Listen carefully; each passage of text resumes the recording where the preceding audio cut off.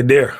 Welcome to another episode of the Coach Kayo Show. This is your live podcast where we talk all things soccer. I'm your host, Kayode McKinnon.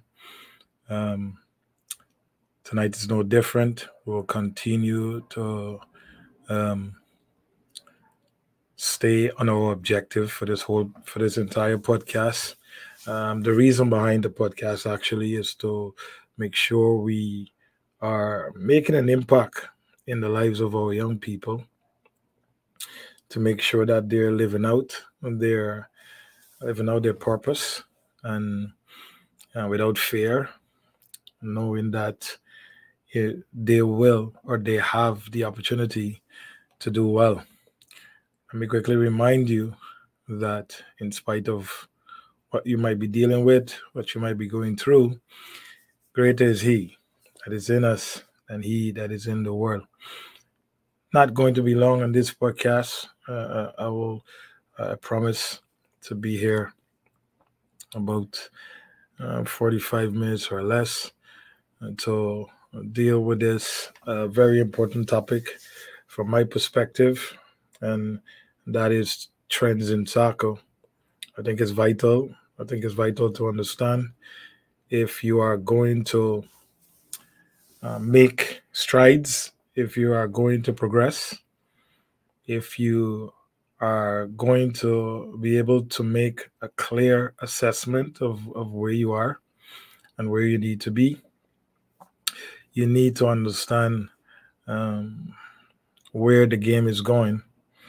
And we'll look we'll look at it from more of a on field um, approach because trends can be looked at it could be looked at uh, from different angles behaviors etc but excuse me we we we, we would definitely look more um, at on the field um, trends that i believe if we can if we can truly understand that we will will be on our way um, to improving our game and becoming high performers. So it's a good time to please share the share this this this live podcast where you know uh, people who tune in can look um, on Facebook, Facebook Live, YouTube Live, Instagram. Um, these are all places that you can listen to this podcast live. And if you don't want to listen to it live, you could still share um, any any anywhere that they listen to the to this podcast, the Coach Kayo Show, um, at Spotify, Anchor, and across the platforms. If you haven't subscribed to the channel yet, please do so at Kayode McKinnon and Co. Hit the notification bell so that you know when we're on every Saturday from 8:30 p.m. Eastern time. So please do share, share if you have a young player. Um, if you are, are interested in, in knowing more about the game so that you can be the type of support that you need to be, that you can be more effective in in in how you guide your athlete. Um, this is a good good opportunity to to sit in and listen, um, because the objective tonight is to make sure that we are equipped with the why, um, understanding the why of uh, of of trends trends in soccer. So it should be um, it should be uh, a, a show that can help uh, soccer players, soccer moms, soccer dad, uh, dads to to be uh, more equipped and to be able to look at the game and and make better assessments, make um, make better feedback, have better reflection on on on the process, so that they can help the athlete to grow. So before we we really dive into this um, subject tonight, please let me know that you're here.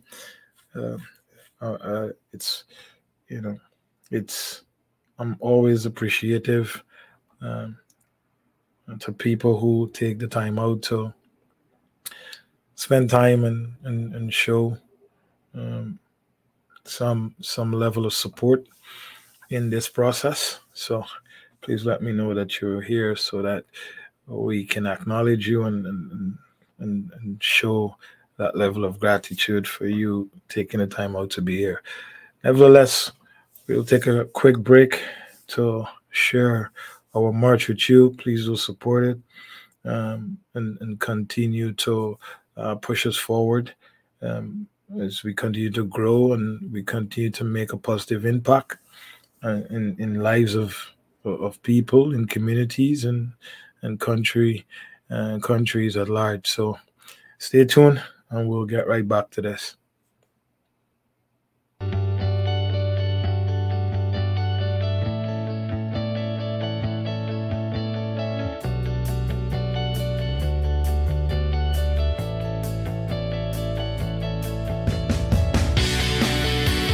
Kayode McKinnon and Company are ready to dress you in one of their most stylish, comfortable, and attractive athletic gears this fall for you to achieve that desired athletic goal.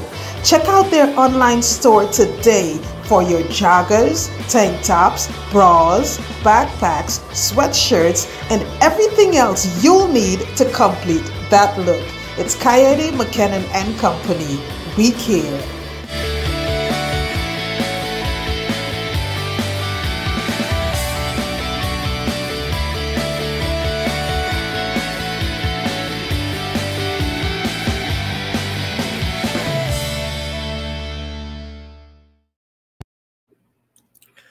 Welcome back to the Coach Kayode Show. Kayode here, and we're talking about trends.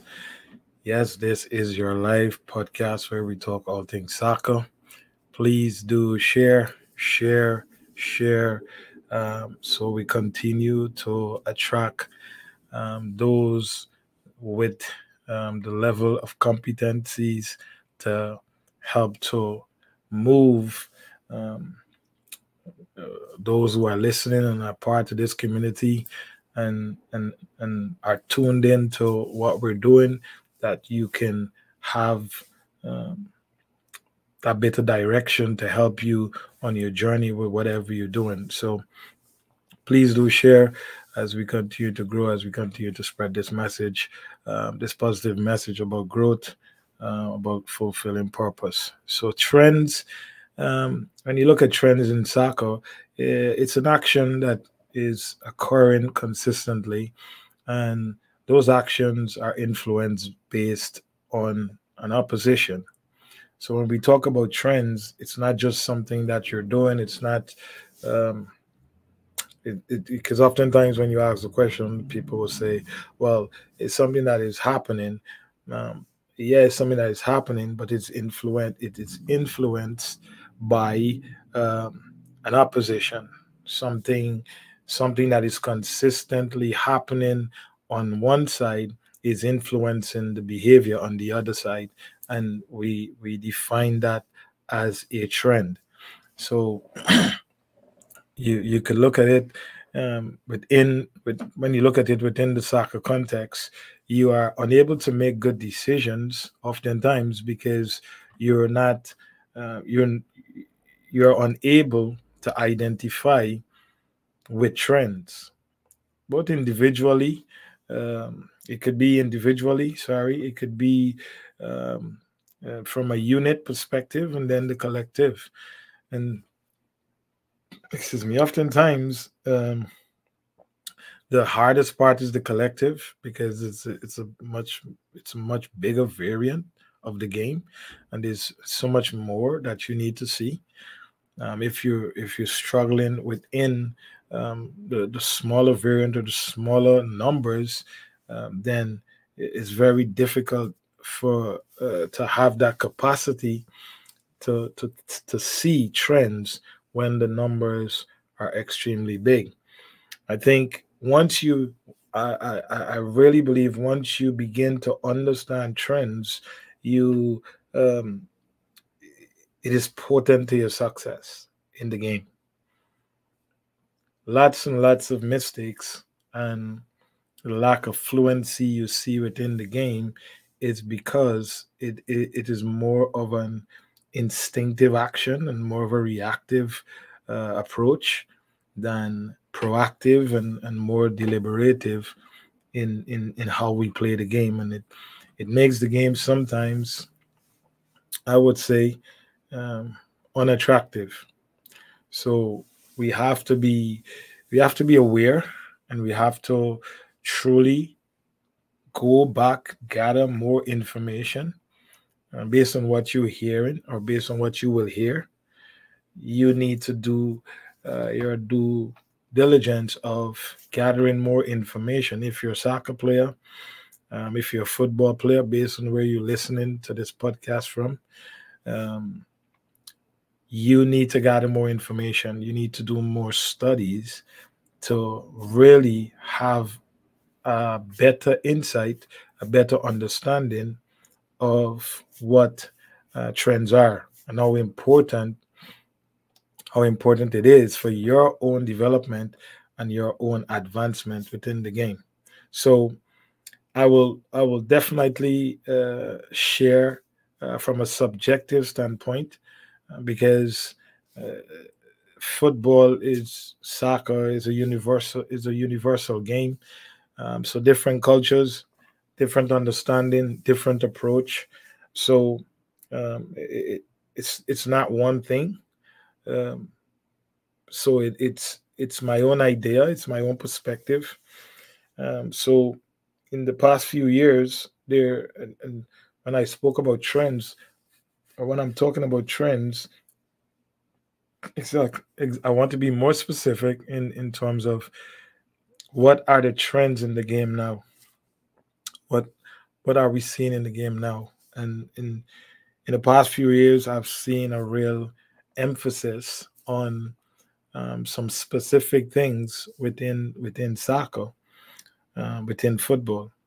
So, if you're a player if you are um, if you are a parent, if you are a parent who uh, really involved in in in the sport when it when it comes to your to your to your athlete, or you're a soccer player, and you you struggling to understand and to uh, really measure if you reach getting closer to your goals, or if you're a coach, young coach now getting involved.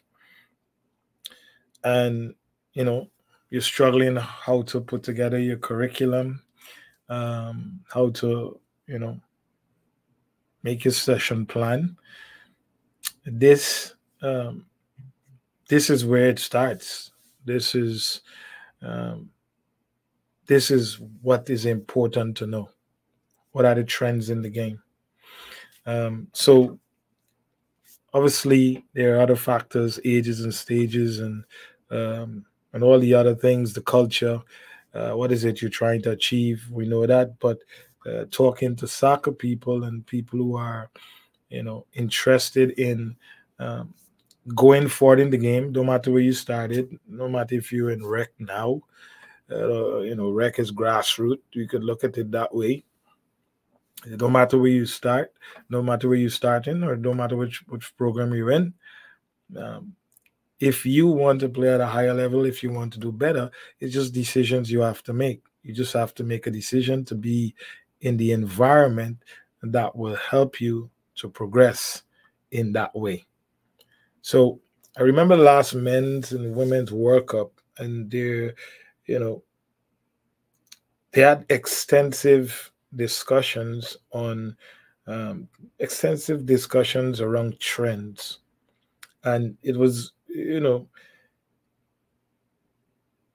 it's a unique role in the progression of the game. And I think that is why so much time was given. It was, you know, it was very intentional after, you know, some games or after every game. Uh, the you can see a lot of webinars and stuff popping up about the trends in the game. So there are lots of trends that happen around that time. um, but I really want to dive into to one, and maybe in, in the next few I'll I'll dive into uh, a few more, but I will give you three of of the ones I believe that are the trends in the game now, the, the thing that is moving the game forward, uh, the thing that people are paying attention uh, mostly to in terms of uh, advancing and, and, advancing their game and and having uh, better performances. You know, three three key things. One is the, the physical capacity. Obviously, there's performance coaches, performance coaches, performance coaches now are super, super important to every program. And then the psychological advancement. You know, as a man thinketh in his heart, so is he.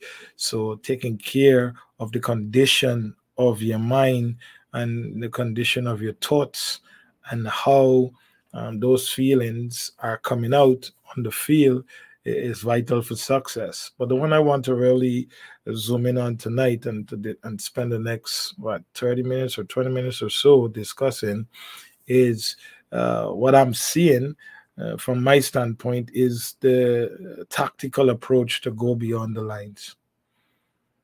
That is that that is one I've seen. Um, it's a major it's a major interest and and and I can see a lot of inf, uh, a lot of emphasis being placed on the tactical approach in um, getting beyond the lines. So, and I think if you look at it, the top teams in the world uh, are the ones that truly influence our game. You know, they and they and their idea, their their idea, uh, they influence the idea of soccer. I mean, we talk about idea, we don't. We're not talking about philosophy, and we're not talking about style of play. We're we're, we're not even talking about formation and all of those things. When we talk about uh, the soccer idea or the football idea, it, it's it's talking about a system of success. You know, how do you get success? What is it that you're doing um, consistently uh, to get success? And based on that, you you you build everything around that system.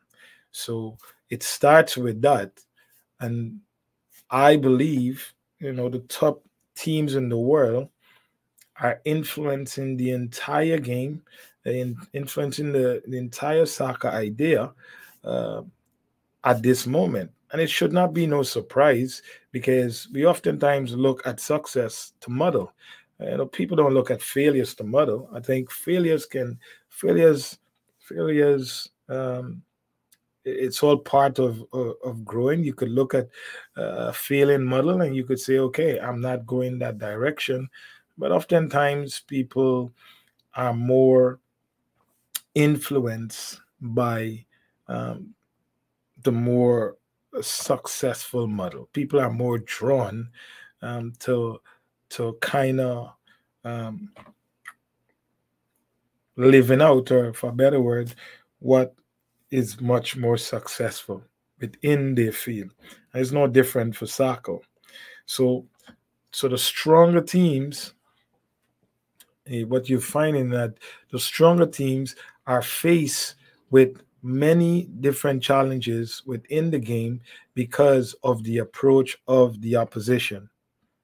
So, what you're seeing with the more inferior, um, with the more more inferior teams when they're coming up against uh, top teams, uh, they make it very difficult in terms of how um, by how they control space, how they are super organized, and how they are defensively responsible because they want to stop the machine. And um, the bigger team, the bigger teams are the machine.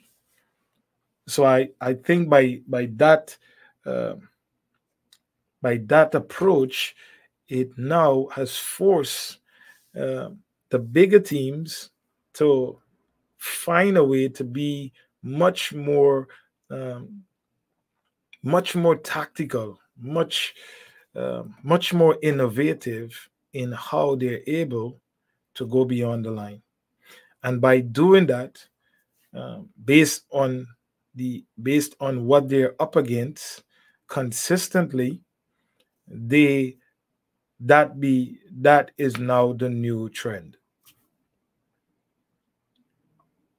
But i want you to i want you to pay attention to a key thing the behavior that is influencing the trend is not just based on this is how they want to play or this is how they want to approach the game now. It is influenced by opposition.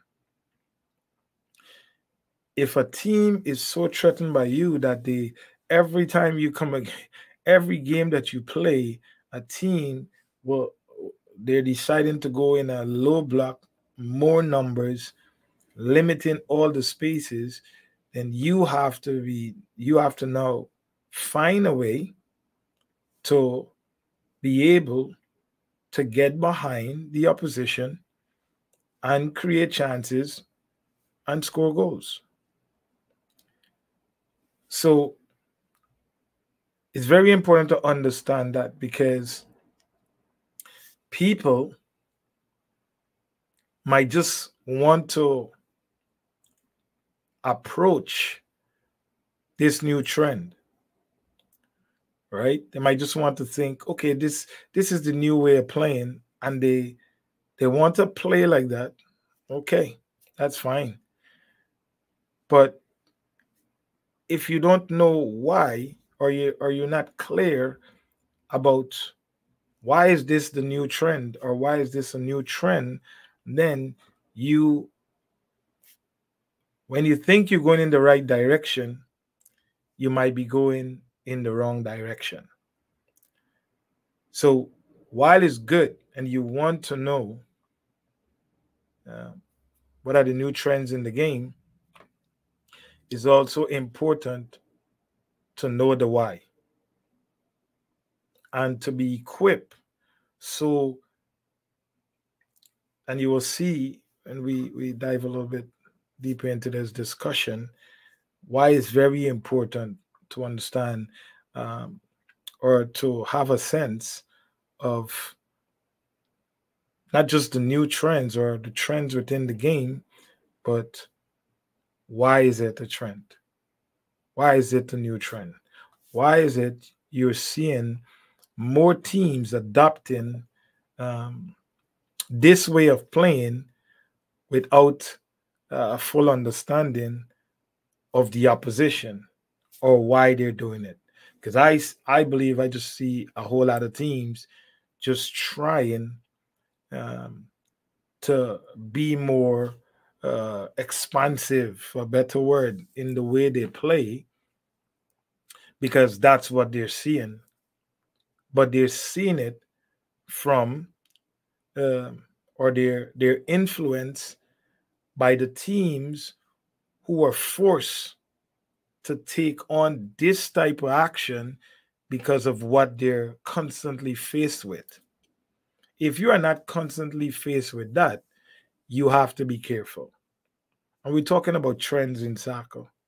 And one of the, and if you're now joining, we're, we're, we're talking about um, one of the one of the the, the trends uh, that I um, that I'm looking at where there's a great emphasis that is placed on it, which is a more tactical action um, to get beyond the opposition and uh, and giving you some some context of okay why you why is that happening? Because it didn't just came out of nowhere this new trend didn't just drop out of the sky it it is influence or it's coming into um, into the into the football or soccer space because of the more superior teams and what they are constantly faced with with playing more inferior teams and how inferior teams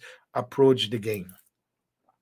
So it just can't be something that oh this is this is the way everybody playing. No, this is the way. This is the the the, the more superior teams have influence, have more influence on the game based on how they play.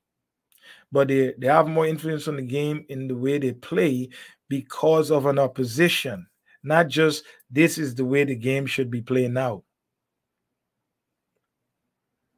I think the discussion, because a lot of times the discussion, uh, you know, or most cases, the discussion is around how this team play and this is the way football going, and the and the and the, the conversation stop right there.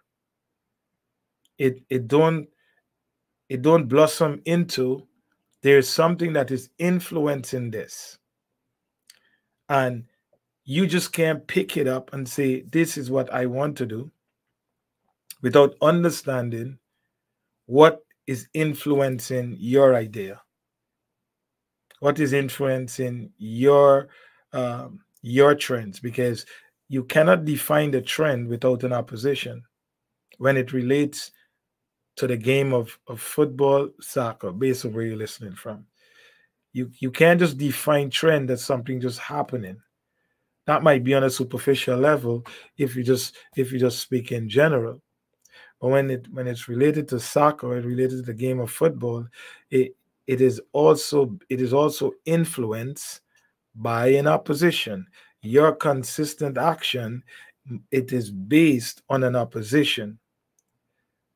So those two things have to connect for you to define it as a trend. Not just what you're doing, or not what not just what you want to do, but it is it is based or it's influenced by the behavior of the person coming up against you. Hopefully, um, that's making some sense. Please do share share this live podcast. Um, and, and you can look at this podcast live on Facebook, YouTube, and Instagram. Please do share Please subscribe to the to the YouTube channel, Kayode McKinnon and Co. Hit that notification bell so that you know when we're on every Saturday, 8:30 p.m. Eastern Time. So yes, once again, we're talking about trends in the game. What is a trend? And who oftentimes influence the trends in the game. And it's coming from their experience, what they are dealing with, that oftentimes you are not dealing with. So we have um, we have a lot of people who will say this is how the game should be played because this is what is happening now. Yes, this is how this game the game this is how this is where the game is going now. This is the trend because the, the superior teams are leading the way. But they're leading the way based on what they're constantly faced with that they had to become more innovative, more creative.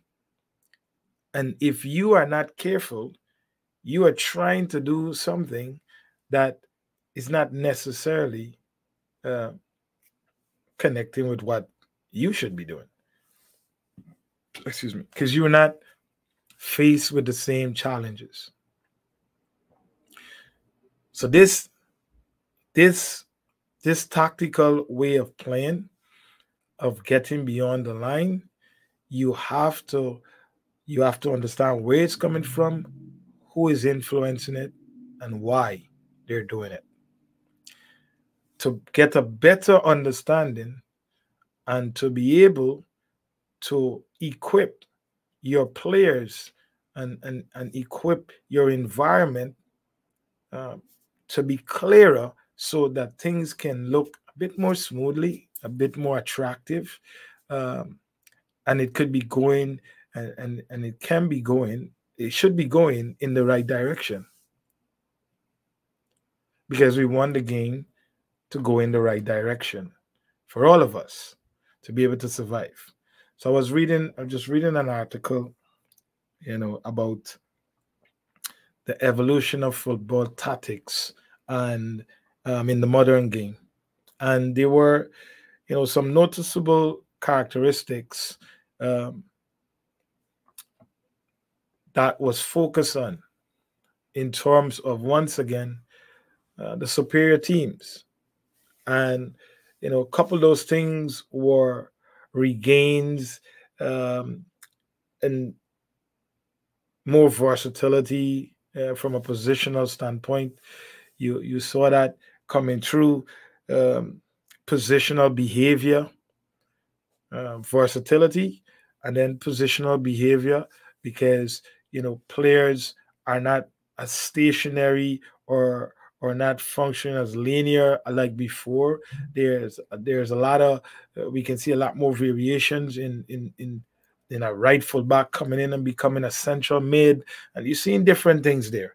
Um, much more fluidity in in the way the game is played with uh, more variation in the attacking sequence. But all of these things are occurring because of one, the superior teams and what they're dealing with from the opposition.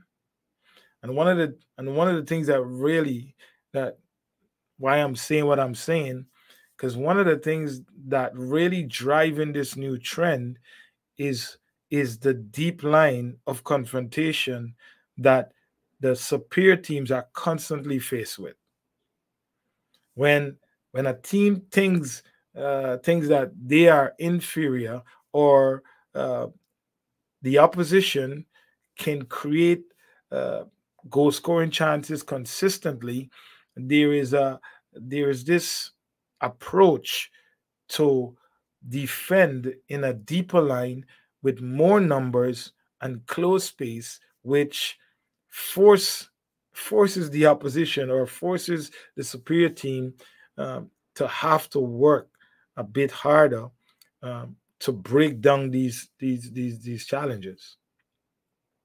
So the the new trends within the game is being influenced by um, the superior teams that that have to deal with the inferior teams who oftentimes make it so difficult in terms of the organ because teams are much more organized now. Um, teams uh, know where you can hurt them. Um, they they understand numbers, and so they're they're very organized and structured and disciplined in their defensive approach, which makes things very difficult for a team that is superior and should be getting the results against against those teams. Should there's teams that you're supposed to beat, and there's and when you beat them, it, it it's you know, it don't take away the credibility of your performance because you did what you're supposed to do. But when, based on all things considered, when when you beat teams that you don't necessarily need to beat, then it becomes a problem or it becomes something good for you, but it becomes a problem for that for that superior team. Changes are made all over the board. So it's not oh they are the teams are defending deep and it makes it makes it very difficult for us. No, they they have to say we we have to find a way to beat these teams, and that brings this new trend and and and one of the things that comes with this new trend is something called possession based football. I mean possession based is a style of play of being in existence uh, for a long time. But this possession based approach to be able to go beyond the lines it's it's it's it's what everybody's talking about within football but also there's a there's also another way that can have the same impact that everybody refused to talk about or it's like a uh, it's like a disease in in football, which is in soccer, which is a more positional based approach. So there's possession base, there's a possession style of play, and then there's a positional style of play. But the new trends within the game, it is um, the possession style of play is what everybody is seeing, but they're they're they're not really looking at why it is that way.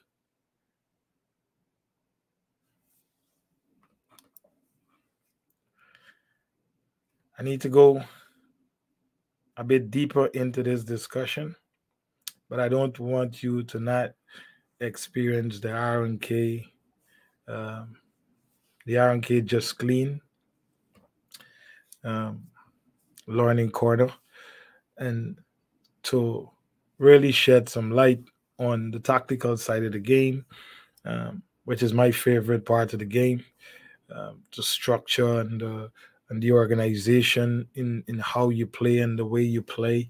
Um, I think it's I think it's art. I think it's you know, I think it's poetic.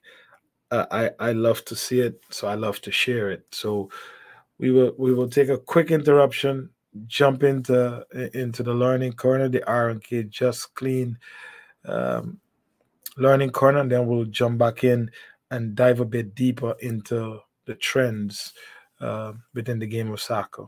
We'll be right back.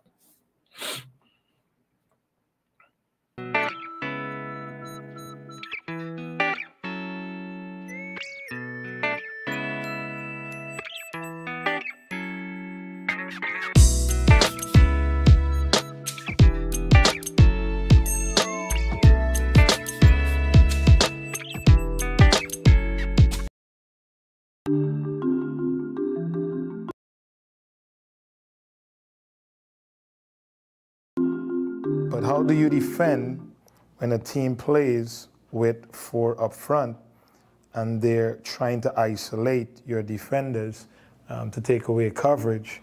One of the ways you can do that quickly is having your nine force the opposition to play in one area of the field. Um, if that happens, then it forces the 10 to be on the ball side, taking away the spaces. The 7 get really compact and a bit deeper. The 2 is on the outside. And now we have the balance with the 8 coming across and the 11 dropping inside. 3 coming inside. What, it, what becomes very important is in the central area of defense. How do you deal with this? Well, one of the ways to deal with it is bringing back the 6 to mark on the ball side and allowing the four to give coverage. So when you see a team play with two forward, it's be, two forward, sorry, it's because they're trying to take away the coverage uh, for the first pressure. So if there's one v one, then the coverage becomes very compromised because if let's say for instance, quick example, if the ball if the ball comes into nine and the 10 is there, if the 5 give coverage, then there's gaps in between here. If the 3 comes inside, then there's an option outside. So to take care of that, we make our numbers, we make our numerical advantage in the middle here, which give coverage and allow um, the players to stay with theirs. I hope this was helpful. Um, see you again at a new Learning Corner.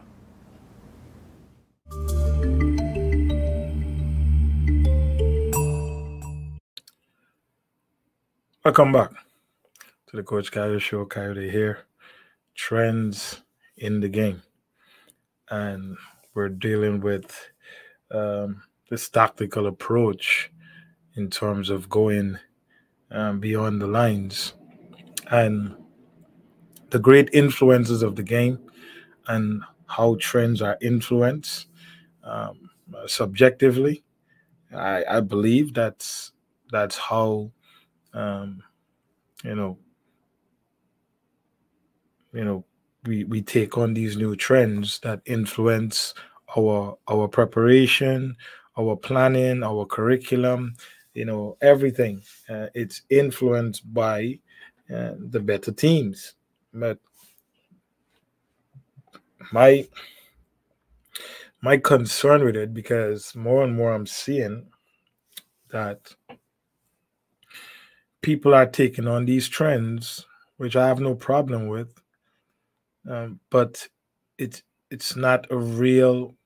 Uh, it don't seem it, it's it don't seem to me like there's a real understanding or a, a true measure of the why, and like I tried to explain um, earlier, is the the new trends in the game now and where it's coming from is what is happening um, from the superior to the inferior teams. And that is influencing this way of playing.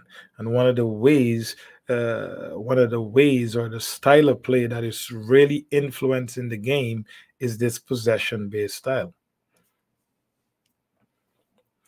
I'm not talking about, you know, some countries, we know the South American countries, uh, we know um, uh, some European teams like Portugal and and, and stuff. They that that has always been their culture. That's how they play the game.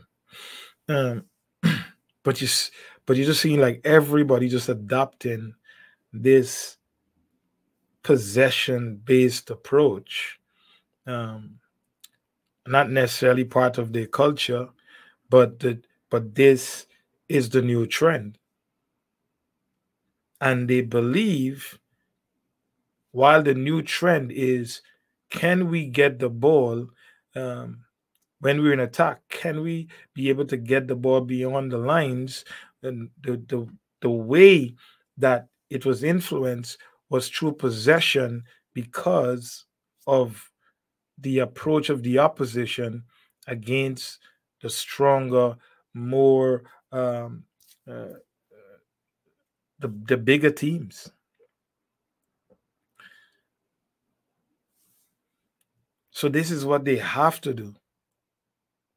This is the way they have to play because they're dealing with an opposition that don't allow them to just utilize space behind them. Excuse me. So and and to play this way i think you i believe you have to be very methodical in your approach. You have to be clear. You have to have a clear game model.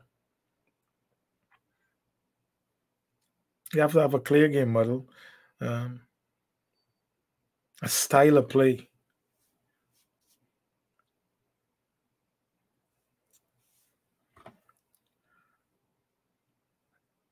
once again, my concern is, and I heard it, and you know, I I talk to people, and they and and they feel like there's no other way to play.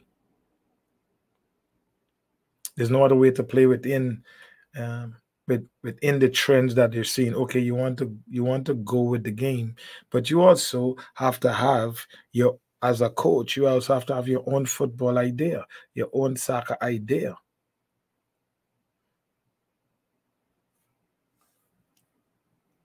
You could flip that whole trend um, and and in and use it as part of what would be the weaknesses of a team playing like that. And uh, we allowing them to play against us like that if we try to do that.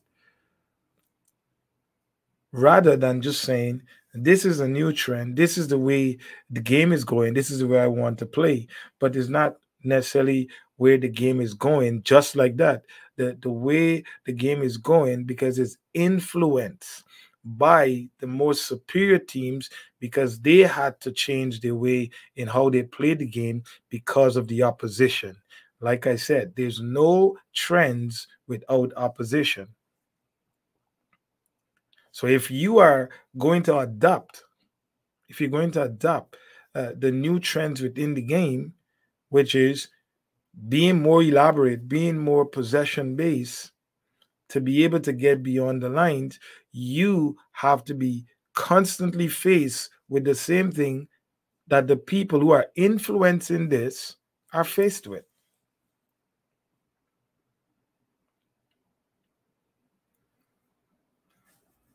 And I'm not talking to the people who play, who culture is based on this, who have always played, that is their identity, and, and even some of the countries who had uh, that that more expansive, elaborate, are more um, cognizant of how they do it, how they approach it, because um, it's not necessarily working for them at the international level.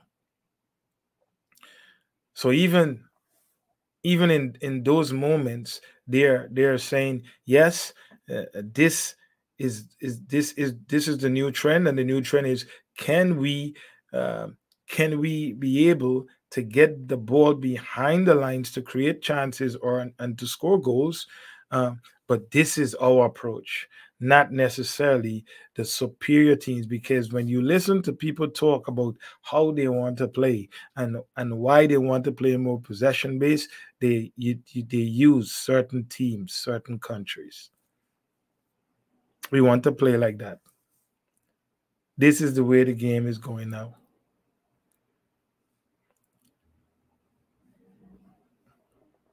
And we have to be careful about that because there's many factors that come into into playing like that that if you are not associating um, those characteristics with what you're trying to do then it makes it very difficult and it creates confusion.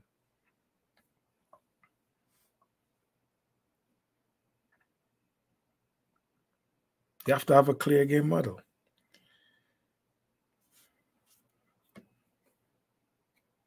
And that's only happening. The possession base that we so crave.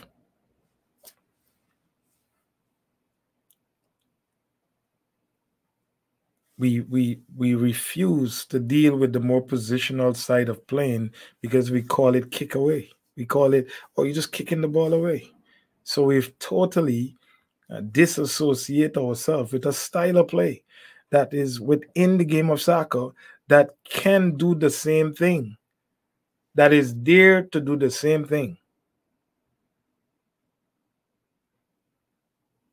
And is there to do the same thing based on who is in front of you and what is the opposition presenting to you. So,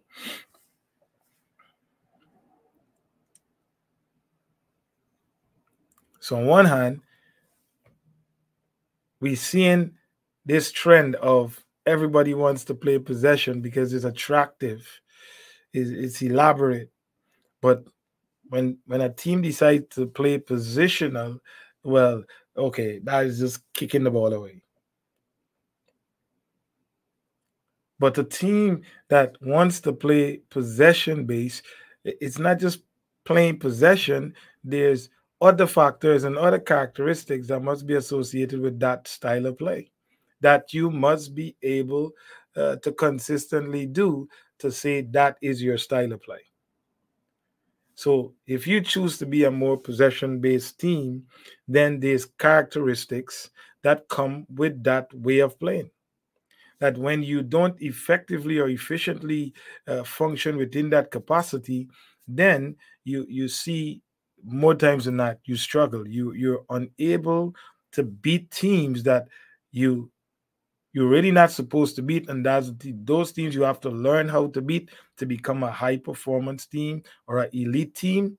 And the teams that you're supposed to beat, you beat them doing what you're doing, and you think it can carry over. And it and it to this day, it is not.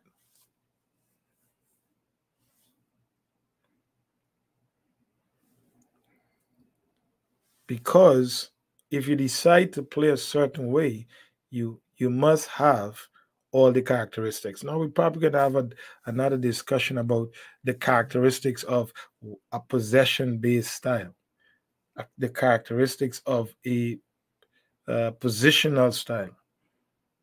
There's components in all four moments of the game that you have to be able to do constant or consistently well to be to be known as a possession based team.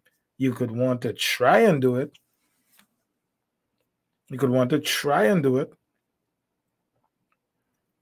because you're influenced by what you're seeing from superior teams that only they're only trying to do it because of what is what is in front of them so you just can't take it on and say this is the way we want to play because it produces you see it produces result for those teams. But they're only doing it based on the opposition. You don't you don't necessarily my point is you don't you don't necessarily need to be adopting something that that don't fit what you're dealing with because you want to play like that.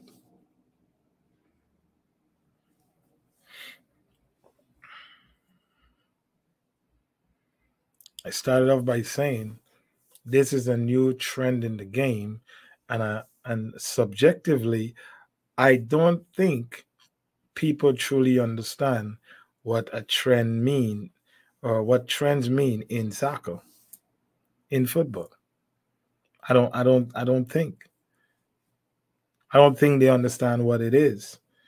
Um, and just based on this, just based on discussion with players, um, and sometimes discussion with uh, with coaches.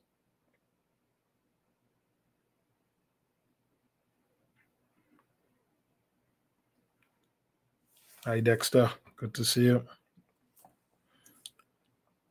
you see hopefully with this uh, with this discussion that coaches will have a bit of their own uh, their own idea um, within the trends that fit the needs of who is in front of them.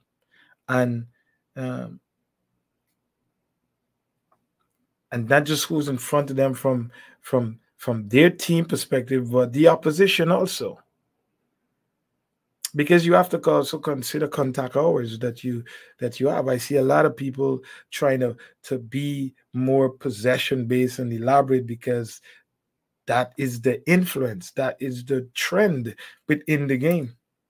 And I, I keep I'm hoping that you excuse me that you get what I'm saying, where this is coming from. Where is this coming from? It didn't just drop out of the sky, or it's not just a new way. It's it's a it's a way that uh, that was based on opposition behavior. So if you are not faced with that same opposition's behavior, why is it you're adopting something? Um, maybe just because it look attractive.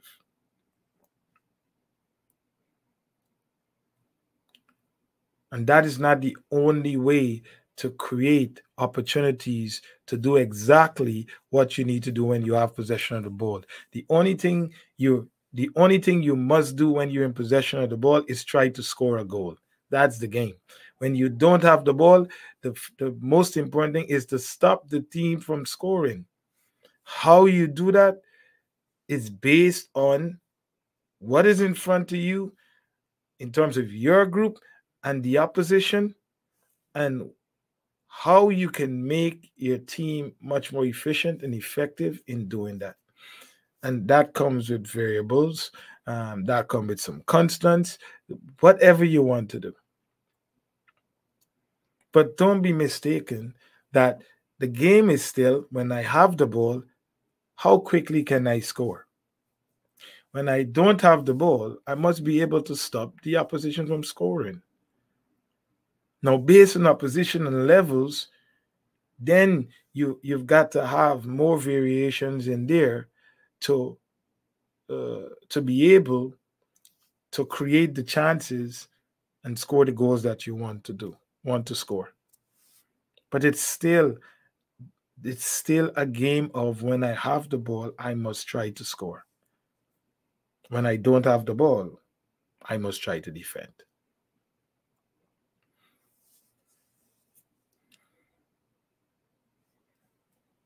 The new trends in the game. The trends in the game.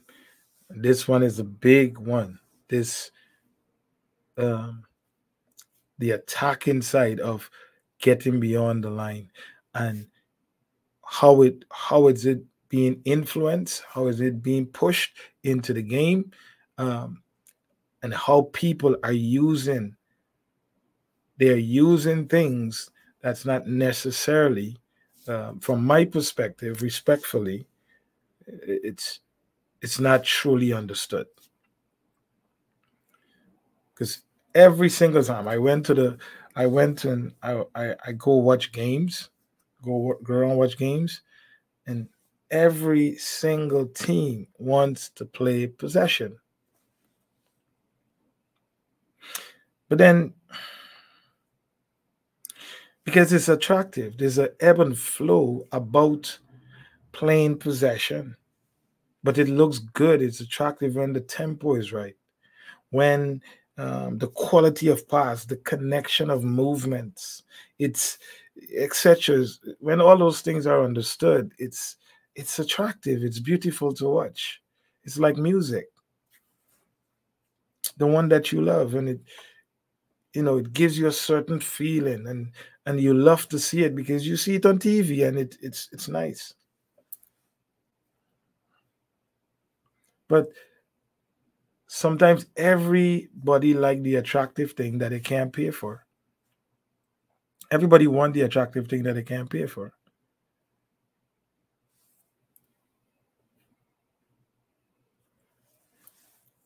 I said that because when when you want to play like that and you want to establish that, there must be more education um, in terms of player understanding of what that is. And I'm and I'm harping on possession because this is the new trend in how to break or how to get beyond the lines when when you're in attack. And and i'm explaining to you where uh where the influence came from more and more you see it with certain teams because of the opposition they're coming up against and what they have to do to be able to be efficient in terms of scoring and creating chances. And it's a difficult way of playing the game. You know, you sit and you ask players, you know, what is the definition of possession? And they don't know. So if you don't know something, how are you going to perform it? if you don't even know the definition?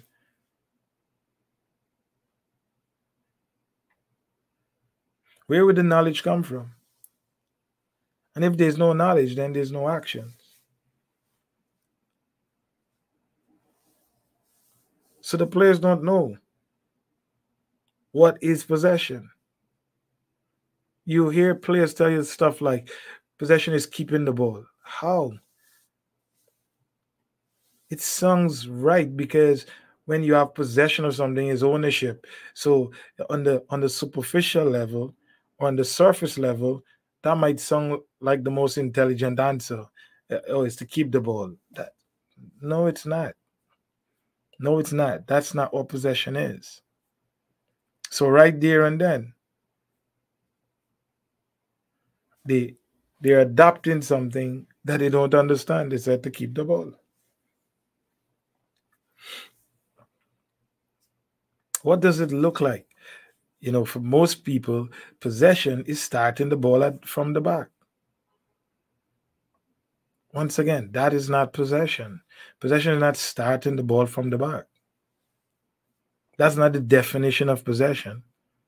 You, you don't define possession by starting the ball at the back. But they will say, We want to play possession. How are you doing it? We start the ball from the back. Like, that's not what is the definition of it? Starting the ball at the back. you no, it's not. It's it's not starting the ball at the back. It's not keeping the ball. So once again, they don't they're being pushed into this trend, but is there's limited to no education in in this aspect.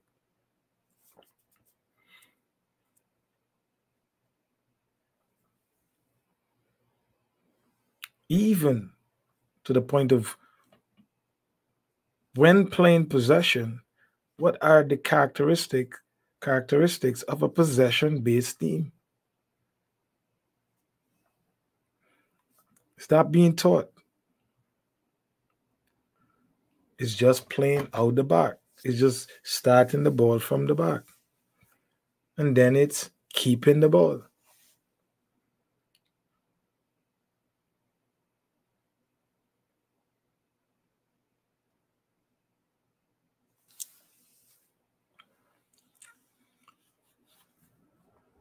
So if anybody wants to answer, you know, what do you think is the definition of possession in soccer?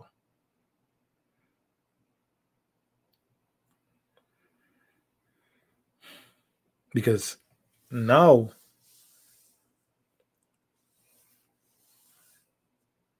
anything that anything that you kick up the field to people is not soccer.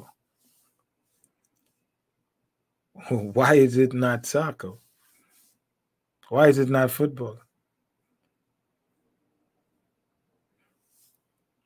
There, there are clear two style of plays. There are clear two style of play plays. Possession and positional.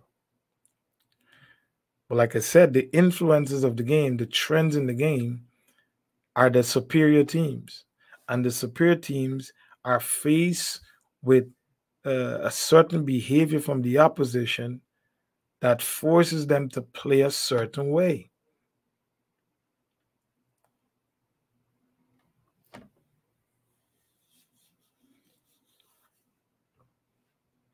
So you just can't say that is the way to play the game. It tells me that you you don't have a football idea you don't have a soccer idea you're not clear about your system and that uh, creates a winning culture or a, or a, or a, a successful high performance environment you're just basing it and and you must be able because nothing is new you have to take things from the successful people and try to recreate it.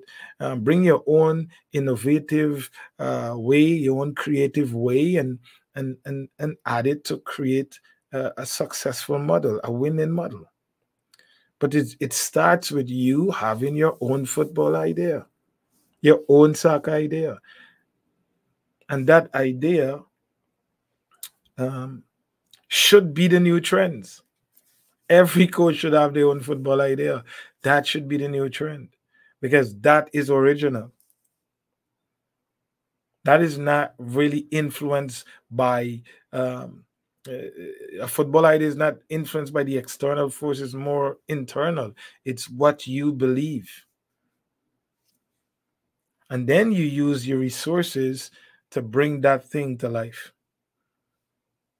But what we've seen the, within the trend of the game is uh, this um, wanting to go beyond the lines um, consistently to create and to score goals. It's, it's a it's a focus, but the but the influences of this is is around the superior teams that are forced to play more possession base.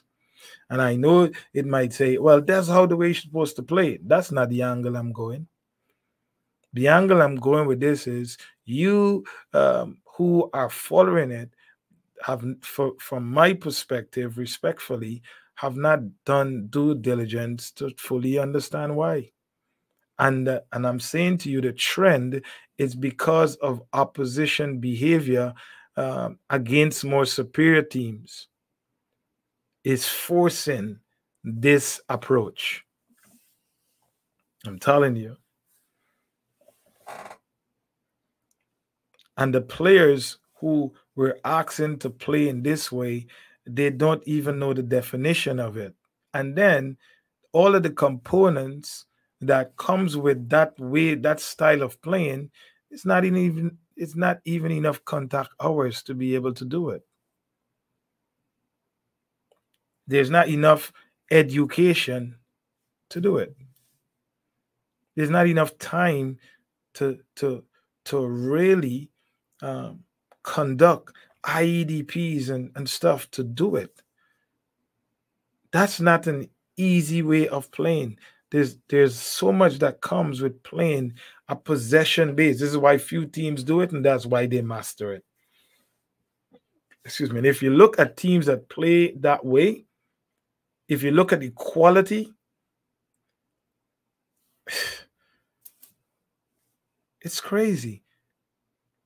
If it's if it's such an easy thing to do,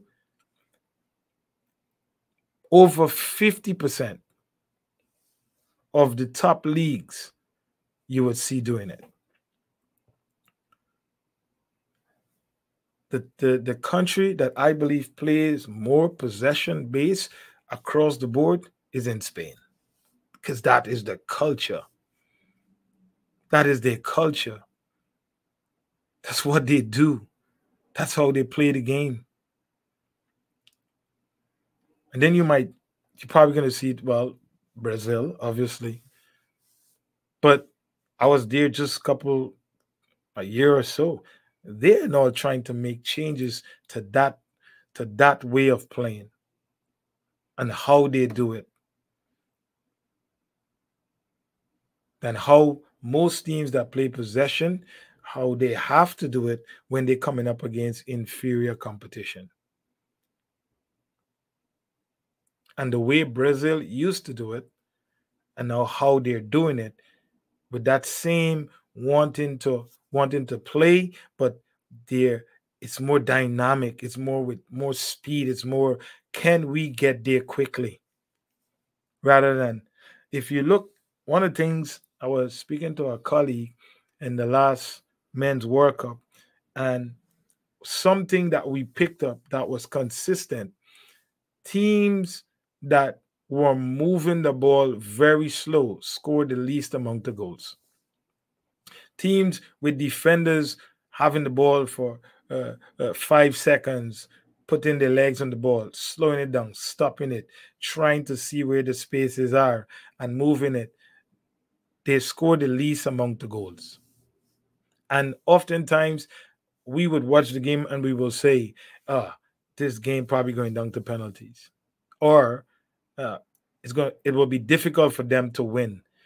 Top teams too. Because the the level of defending and the ability to control space at that level it's difficult. But why are you why are you focusing on that? But your team is never coming up against that type of competition every single team come in and press everything out of you. They come in and try to win the ball back in crucial areas of the field. But you say, well, we're trying to play because this is where the game is going. Is it? It's only a trend because the superior teams are doing it, and, and now everybody wants to do it from a game perspective, from how people are being influenced by the game and what they're trying to do, is because of the superior teams.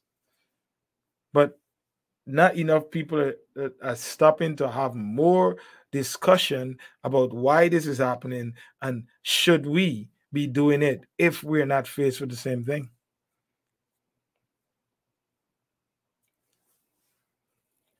Should we change our way of playing?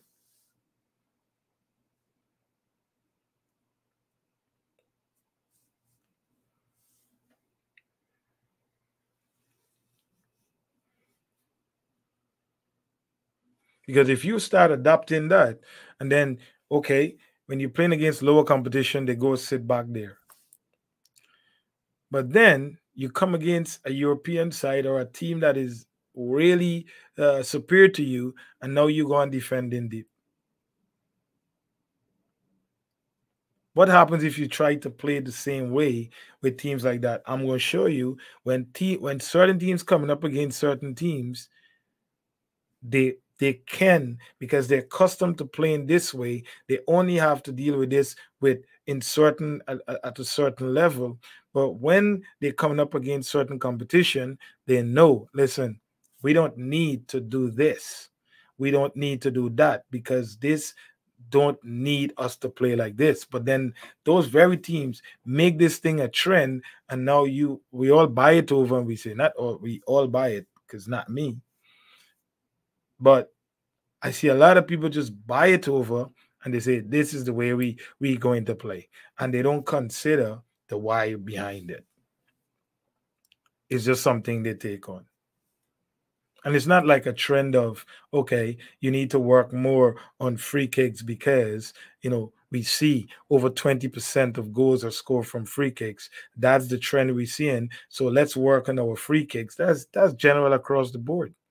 But when you when you start talking about possession to positional, uh, more consideration need to be paid on the environment, your culture, uh, you know, who's in front of you, how much time you have. All those things need to be considered. The level of the players, the level of the coaching, all of these things need to be considered. You just don't say, "Oh, we're gonna be we're gonna play possession because everybody's doing it." No, I think we're I think we're making a mistake. We're making a mistake there. When you look at the uh, so possession is not keeping the ball. You don't define possession by just starting the ball at the back. You don't. I think I will, I will allow you who are listening uh, to do some research and, and and and to make the effort to truly understand what it is so that it don't sound like I'm being overly uh, I'm, I'm making up my own stuff, but you go you go you go look look it up on your on, on your own and see what you what you come up with. Because it's important that you know that because I hear it a lot. You know, we we, we want to play like this and we don't want to play like that with with no consideration or no or not a true understanding of what you might be might be saying. So it's important for you to to understand that. So in in in in the I looked at the EPL league and I look at three teams: Liverpool, Arsenal, Manchester City, and and their percentage for possession is all in the 60s. Now look look at what happens when those three teams are playing against the opposition how many how many times they're going up against teams that we're gonna sit here in a low block and and and try to utilize what we have to try to defeat them. So now they oftentimes have the ball a lot, and they have the ball a lot because uh, once again, there's a there's components that comes with a possession based team that you say you're possession based team or you want to play possession, but you neglect all the other components in the all in all the other functions of the game. Transition um, defending um, uh, transition to attack transition to defend. You neglect all those other components and all the principles that come that comes with being a possession based team i'm harping on possession because this this trend has come into the game, and every single uh, from the youth nine team to everybody uh, thinks uh, this is the way you have to play the game, and and it might be, but I'm saying, but the decision and the the training and the ideas don't connect with what the possession based style is. Maybe you'll get there, but it's not. And most of the times, the players don't know excuse me, what possession is.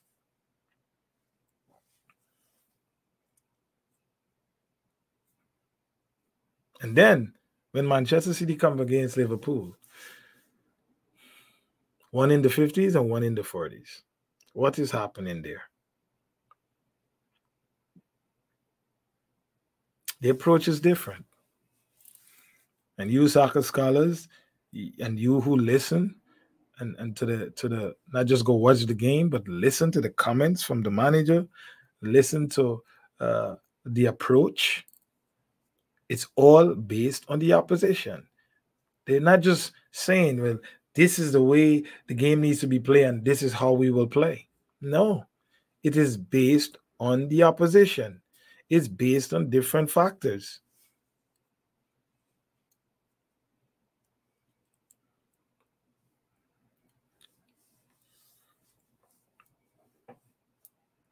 So when you take the more positional approach, oh, you're kicking the ball away. It's defined as kicking the ball away.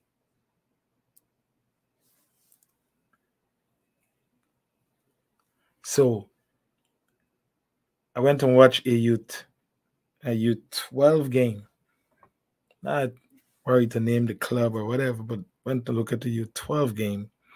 And the opposition is pressuring the ball relentless because they're bigger, they're quicker, and they they believe, you know what? If they want to do that, we we will be able to win the ball close to goal to go score. Now, these the up the players who trying to bail it out from the back, they are not as strong. They uh, they are not as quick, and they struggle with the different press. And it's not even like this press is awesomely done. It's just running and closing the ball down as quickly as possible.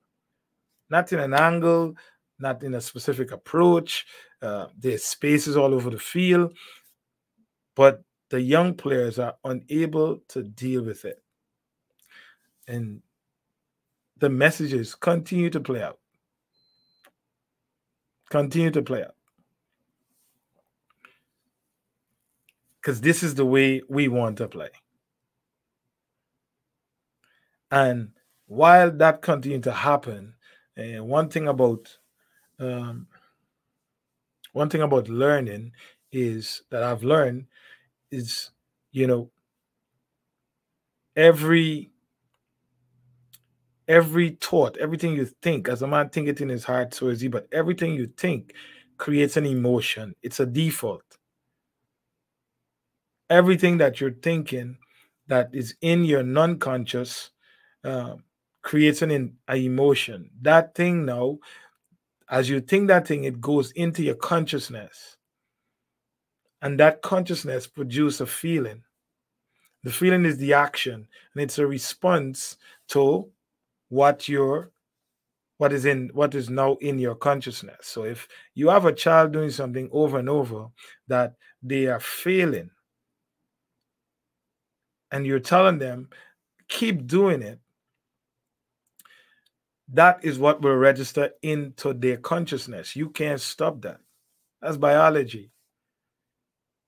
If if I if this if I continue to have a certain thinking, if this is in my mind, I'm losing the ball, I'm losing the ball, I'm losing the ball. After a while, if I so when we started and we start playing, I didn't I didn't I didn't come to the game knowing or believing I'm going to lose the ball.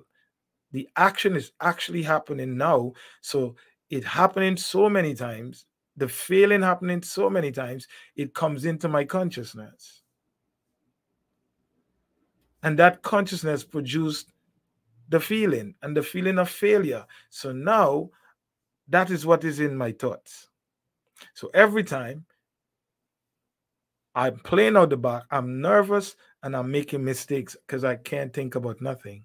And you says, and you say, keep doing it. And I and maybe I maybe you say over a period of time you will figure it out.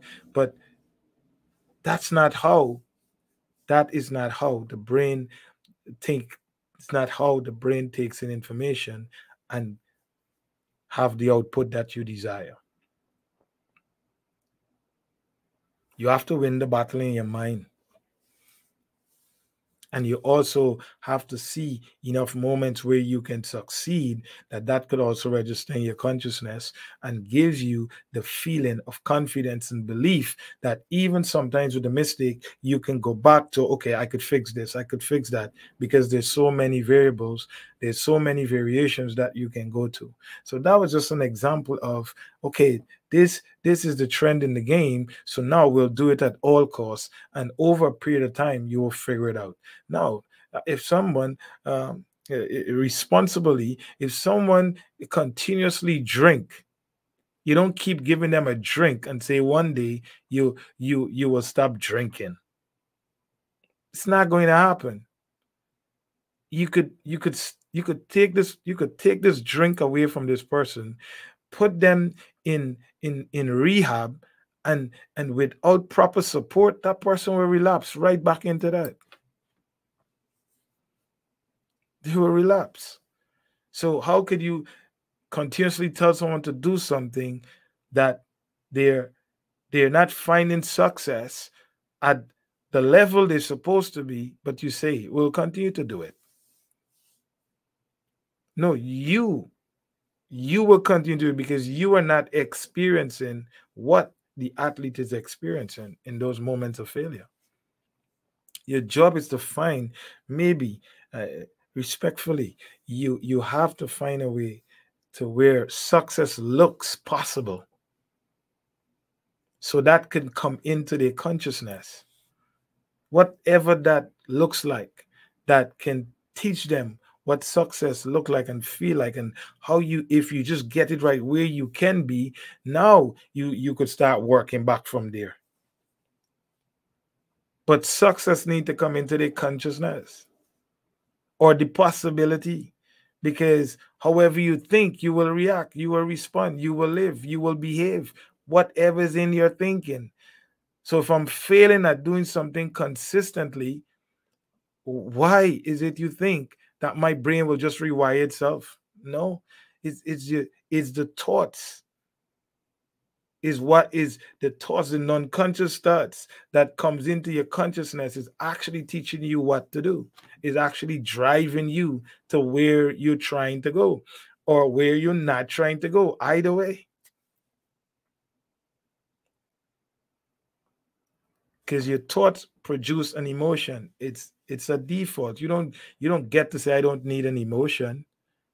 And once that thought get to your consciousness where you actually know what you're doing then it produces the feeling. And that feeling is a result of what you know having having your consciousness. It will respond to that. So if you don't if you don't gather that that thought if you don't rewire that thought from that stage before it gets to your consciousness, then you will respond. You'll respond in a way. So if someone is angry and they don't they don't capture that that that whatever is driving that anger quick enough and it get into their consciousness and that is the response then they will respond the way angry people respond that's what they will do because that's what that's what that experience is. When I feel this way, when this happened, I feel this way, I will respond this way. I will respond this way. So, something I want us to consider when we uh, when we're seeing trends, when we're seeing things coming, and and don't just pick it up and run with it and say I should do this, I should do that, but consider who you have around Consider who you're working with. Consider who you're trying to raise their levels, who you're trying to uh, give them confidence and belief. Excuse me. You don't just need to just follow things. I would encourage coaches and, and players to, you know, dive a bit deeper in the under in understanding what trends are and and and you know doing the work doing the work. Understand the components that aligned itself with these things, um, whatever direction you want to go.